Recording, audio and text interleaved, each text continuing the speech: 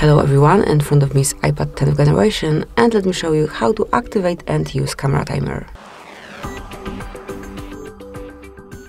So at first you need to open your camera app and then you will notice a timer icon on the uh, side of your screen so just tap on it and here you can pick 3 or 10 seconds delay and then whenever you would uh, like to grab a photo with such delay just tap on shutter and then wait uh, the picked time, so in my case it's 10 seconds, till the photo is taken. So you will be able to see the countdown on the screen, also hear the sound uh, whenever your sound is on, and that's it.